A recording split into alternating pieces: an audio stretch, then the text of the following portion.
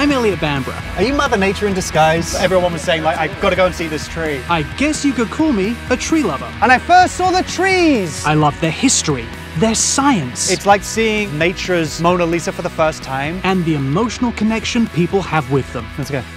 And I just started crying. To a tree that survived so much, it really hits you. That's why I'm traveling the country in search of these remarkable tree stories.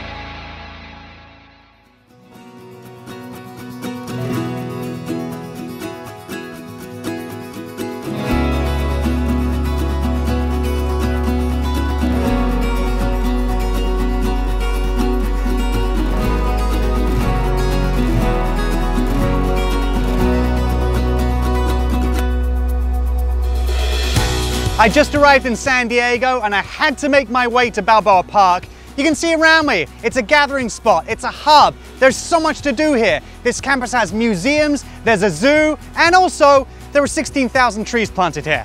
Yep, you heard me right. 16,000 trees in Balboa Park. And there is one in particular that I'm dying to check out.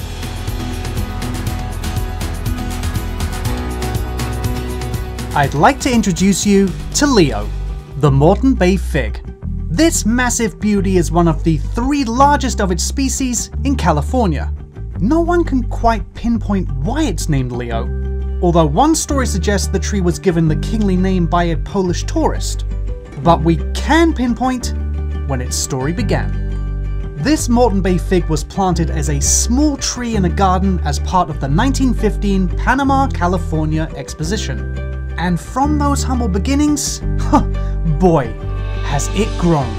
In 1996, it was measured at 78 feet tall with a crown width of 123 feet and a trunk girth of a staggering 486 inches. That's more than 40 feet around. So Leslie here is one of the first people I ran into in the park and one of the first people to wish me a good morning and ask me how I was clearly someone who likes uh, likes to, to have a human connection and a, a, tree connection because you tell me you come here pretty much every single day. Just about every day, yeah. Why is that? What, what is it about this, this tree and this spot?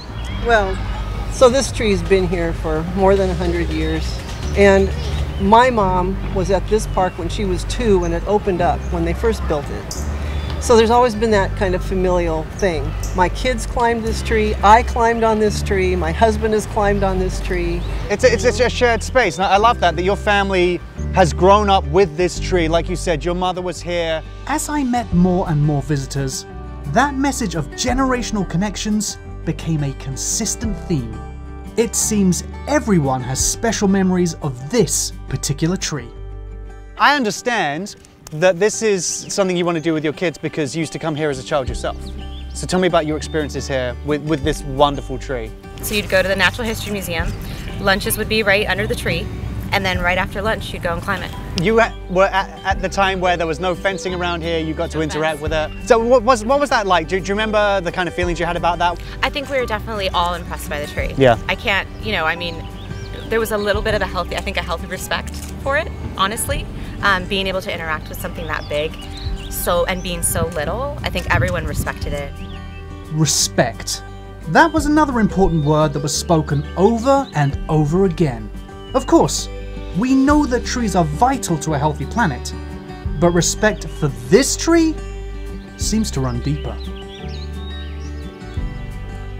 If you had any doubt about Leslie, uh, Leslie's love for this tree uh, and her respect for it, uh, Leslie is married. Your husband is here today. What, Leslie, what is your husband doing? Picking up litter.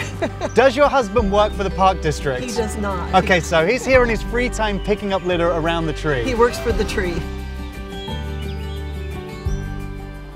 So this is Jamie. Jamie is Leslie's husband. What is it that you love about this tree? What, what does it do for you? What is it about this tree that's so special? I respect what it does and provides for us. I mean, you can't help but walk by and just go, Dang, that's impressive. It's so an incredible it's profound. tree. Yeah. It's prof- it has a profound impact on people. There's something about this encapsulation of nature in this tree where I literally come and breathe with the tree. because it's a it's a reciprocity that we don't pay attention to in life. By preserving this, they're preserving themselves. Those are wise words. Are you Mother Nature in disguise? I knew it. One of the first things you notice when you see this Moreton Bay fig are what you might think are roots.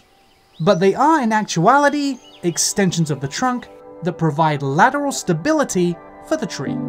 One of the things that's difficult to comprehend, and bearing in mind I'm standing right in front of the tree right now, is its natural size. It doesn't feel real. It feels like some kind of sculpture. The way the tree branches out and the trunks weave around in the ground doesn't feel natural, although it completely is. It's, it's surreal to be standing next to it.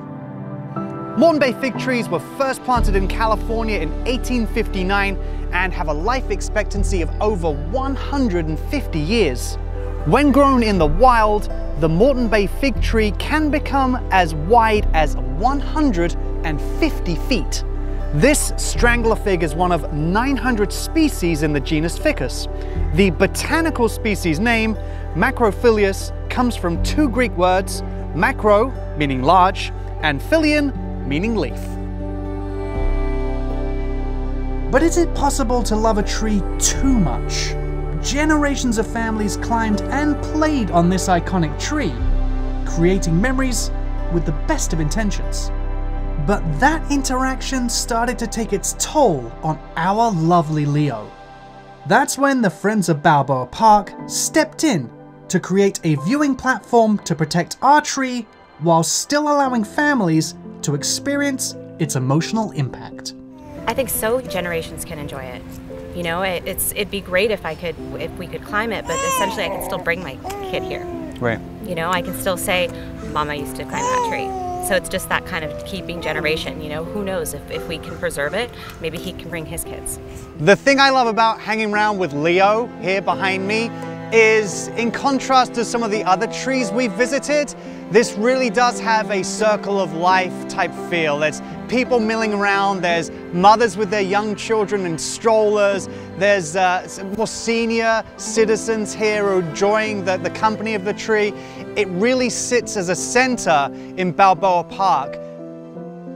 I'm excited by the passion and possibility that trees bring to the community.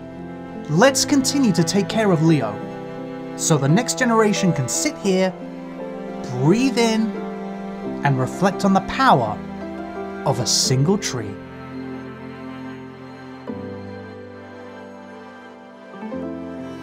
Well, I'm going to spend the rest of the day getting lost in San Diego's incredible Balboa Park.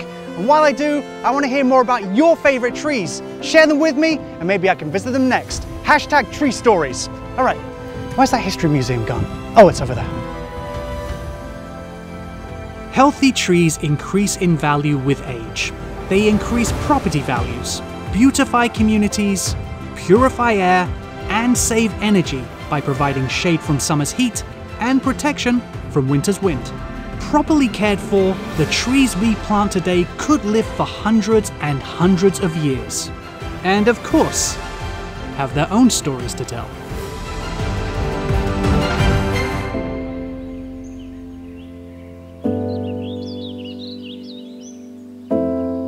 And then nature, spirit, whoever puts people like you into my life so we can help spread that kind of philosophy a little further.